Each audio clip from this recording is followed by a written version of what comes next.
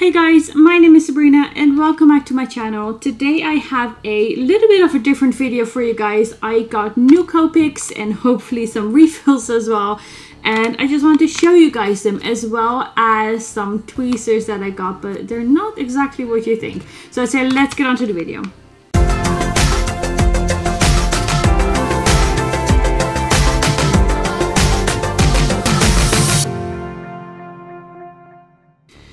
I'm just going to open this one up and see what we have.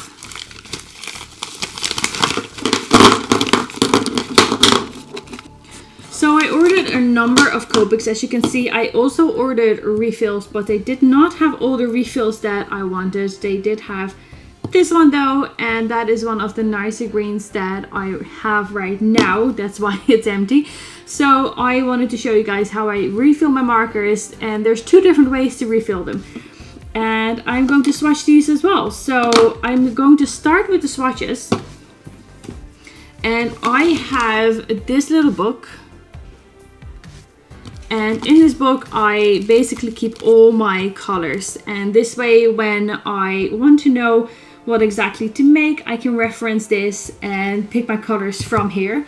And it's super handy. I quite like it and I can close it so it won't be because Copic markers aren't light fast, they won't fade as quickly. That is the idea anyway. So let's get to it.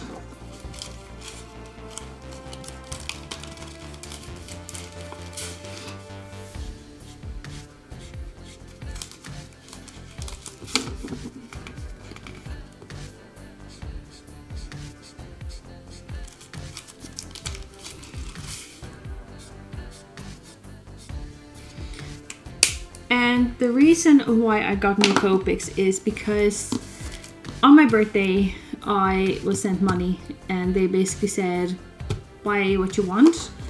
And of course I told them, well okay, I'm going to buy Copics then. because as you can see there's just a lot of colors I don't have in my collection right now and I would really like to complete this collection someday. And I know that it's going to take a while but I will get there. Slowly but surely I will get there. I'm going to just start by the colors that look the nicest. Or start with the colors that look the nicest. And for these greens, I loved how they looked on paper. So hopefully, oh sugar. Okay, these two are in the wrong area. Oh no! But I do like how they look. They're very pretty. Okay, so we're gonna fix that by just saying, whoopsie, E32. And for some of these, I haven't just, I haven't looked for just one of them, but sometimes they just have one in stock. They don't always have everything in stock. So where I order these from is copicshop.co.uk and for me right now that seems to be the cheapest they are on amazon too but amazon is just more expensive and i don't know the difference is quite significant so i did not really want to order from there like i'm too dutch to pay too much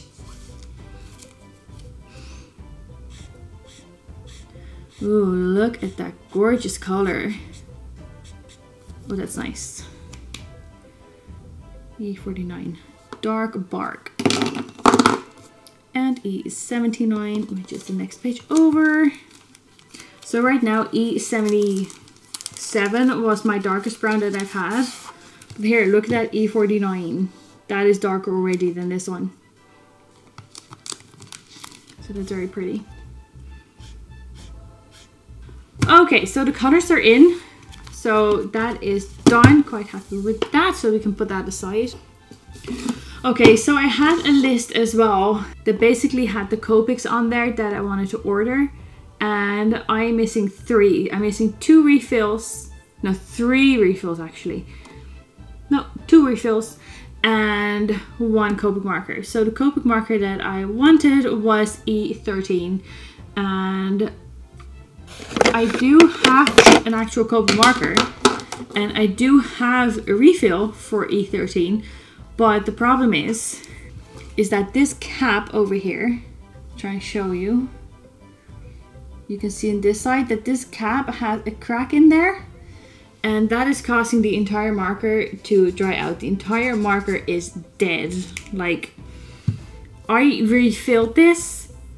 There was new ink in this and it just completely dried out. So instead of refilling it over and over again and it drying out on itself because the case is broken, I wanted to buy a new Copic marker, but they were out of stock. So that's the downside. I don't know how fast they restock these things.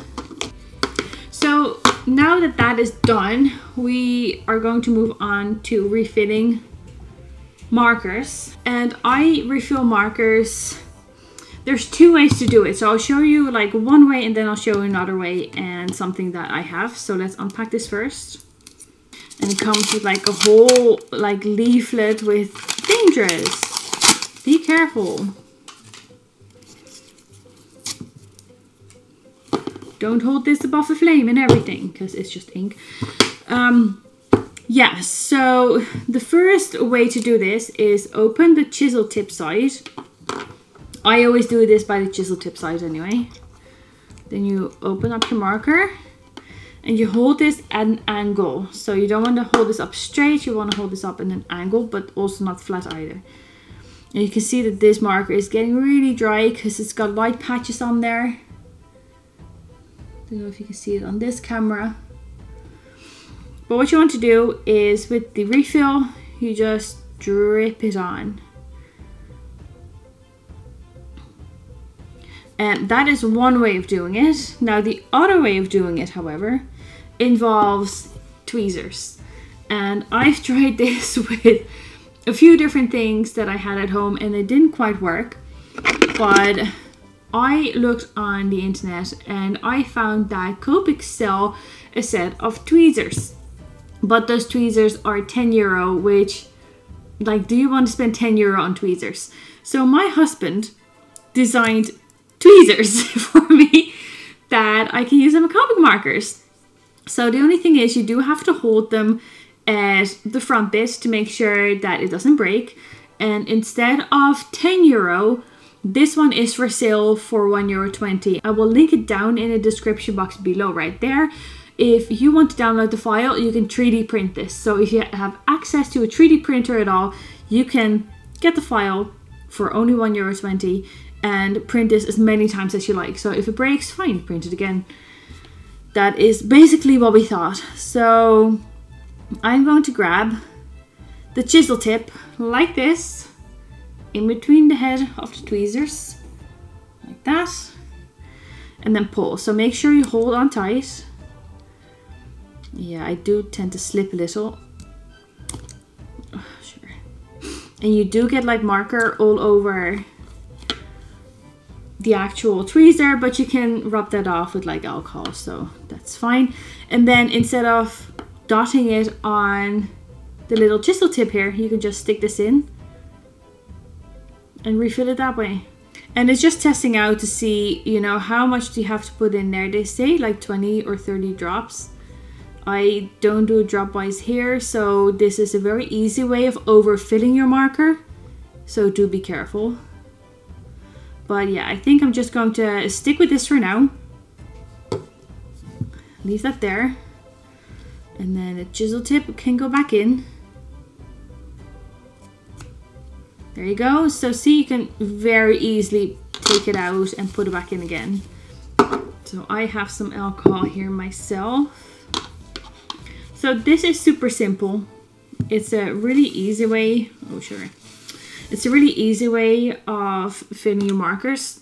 What I do tend to do though, once this is done, I leave it stand upright to make sure that the ink can also go to like both ends. My markers lie down flat in general, so I suppose if you're not using it a lot, then you can just lie them flat. And I just cleaned this with a bit of alcohol as well, and it's mostly gone. So these ones are super handy. Again, make sure you don't hold it here but hold it like at this size, this angle to make sure that you don't break the plastic because in the end these are just plastic they're just 3d printed it's not a really strong material but it really does suit the job and you only have to purchase it once and then you can print it all over again. So that is super handy and that is also what I want to show you guys. I know it's not like a really big video or anything but I thought it'd be really interesting to see or to show you my new Copics and where I get them from and how I refill them and also with the tweezers. So that is super handy and if you want to know anything else, just give me a shout below in the description box or in the comments and I will answer them as good as I can. So I hope you enjoyed this video and I'll catch you guys next time. Thank you. Bye.